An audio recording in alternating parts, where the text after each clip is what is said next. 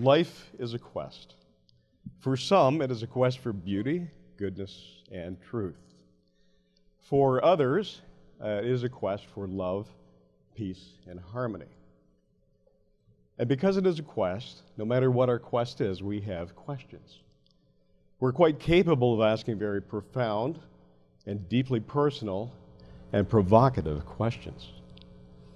And questions come in all shapes and sizes. There are seemingly uh, questions that make no sense. A small child may ask, Daddy, why is the sky blue? And most adults know that not everything is as it seems. So, as we see into uh, the invisible realm, we look for things, uh, we question things that we don't normally see. We're not in the habit of looking for things that we don't normally see. For example, uh, we are, who are blessed with normal vision have three cone cells red, green, and blue. And we see many miraculous things, many inspiring things, many beautiful things with those cone cells.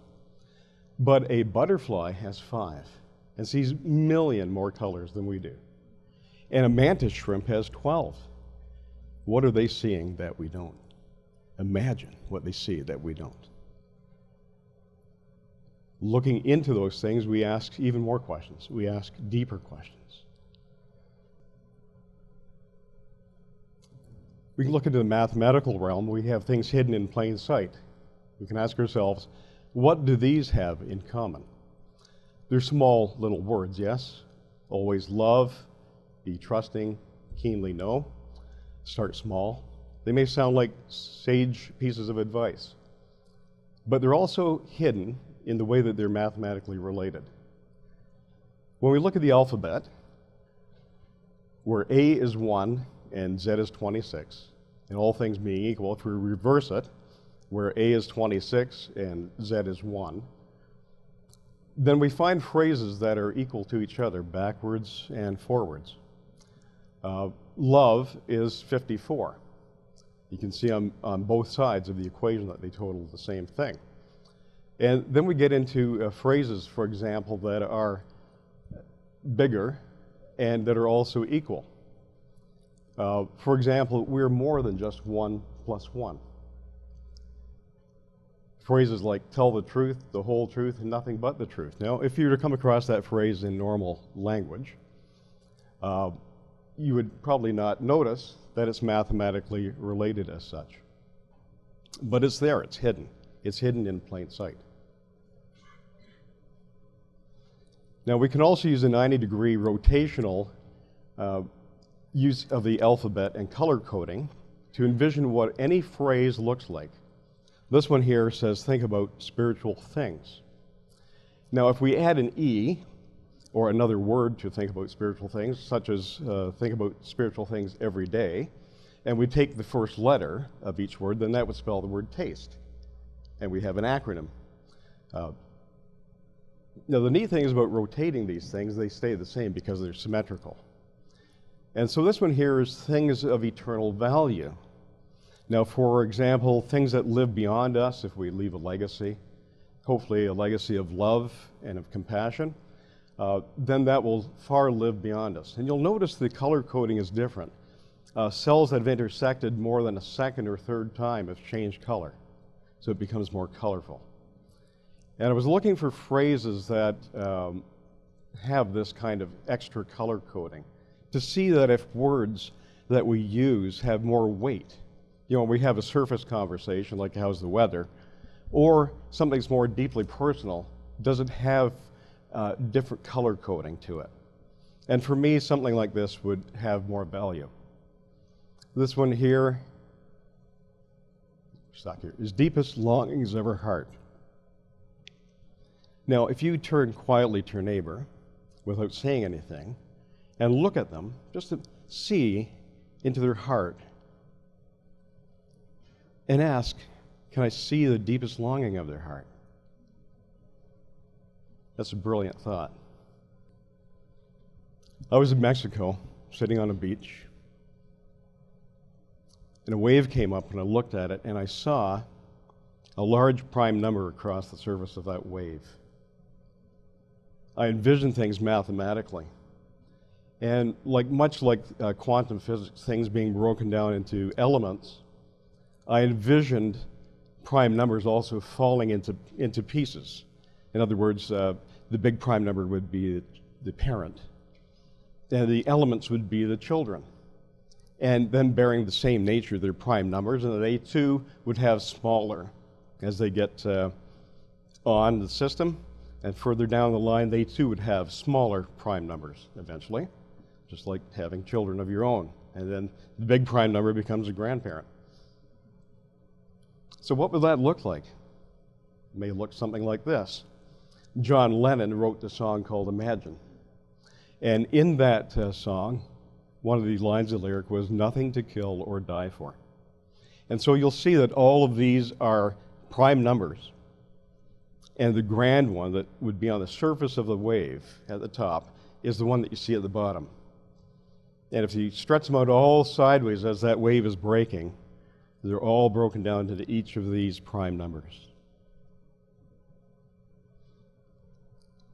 This here is another uh, love without measure.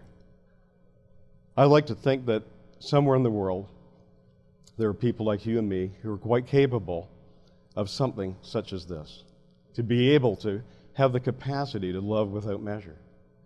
And it's a daily process. Eyeing the invisible. We don't normally look into it, but there you have it. If you were to check any one of these, you'll see that every one of them is a prime number and they all concatenate to form the grand prime number. And this is just another way of bringing what is hidden into plain sight. So, to see into the invisible realm, what is needed? Well, the first thing is to suspend our preconceived ideas. You know, we have filters that we create. We would be totally bombarded if we did not have some filters. Some are necessary. But there are others that we've inherited biases, prejudices, things that uh, we have not checked out for ourselves that we know to be true. So if we take the initiative to suspend those preconceived notions, we are more open to receiving and learning from others the value that they have to contribute to our lives. Cleaning our filters. You know, we live in a beautiful place, Chilliwack. We're completely surrounded by mountains. And yet, many people go about their busy day not taking in the majesty and the beauty of these mountains. They are busy in the moment, not taking in any of this.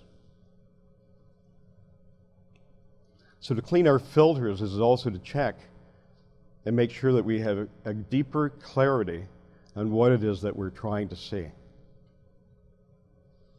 The use of creative imagination. When we have creative imagination, we open our lives to new possibilities, to greater things.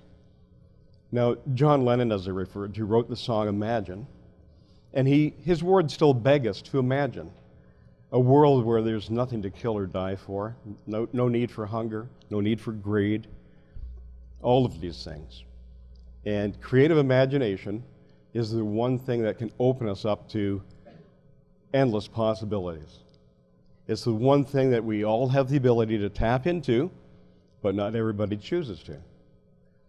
For example, I imagine a world one day, and I may be a dreamer like John Lennon in that song Imagine, but I care to dream and imagine that we can live in a world that is filled with love and peace and harmony.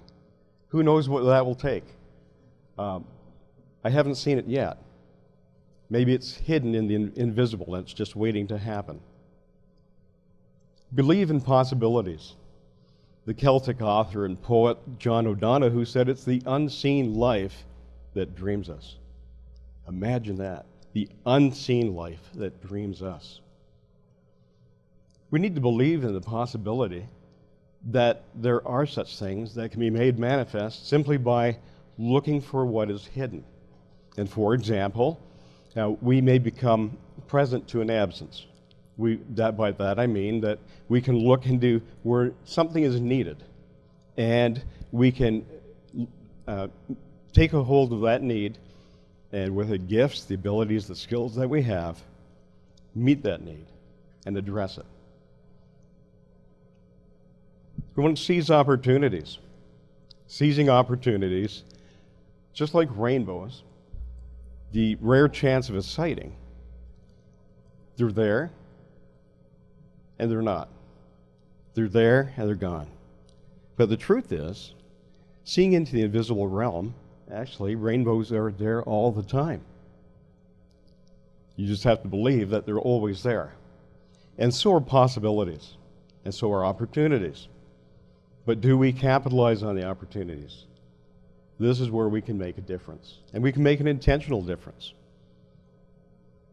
We need to observe intentionally on noticing. We have to be very intent on these things. And so, this is a, an overview of all the things that are needed to see into the invisible realm. I believe we're all connected. We have, uh, as an organic body of humanity, we are each a cell in the body of humanity. And we are all connected. So, here is vast webs of connectedness. The benefits are to celebrate uh, the differences. I believe that differences are to be celebrated and cherished, not to be used as things of division. Deeper appreciation of all people, a heightened awareness, and to see others as they shall one day become, not only as they are now. This is the moral of the story. That totals 243 backwards and forwards. This way you can see it graphically, and this way you can see it as prime numbers. The moral of the story is that I believe it's the highest and best of humanity that aligns itself with all the things that love is. So the moral of the story is love is the answer. Thank you.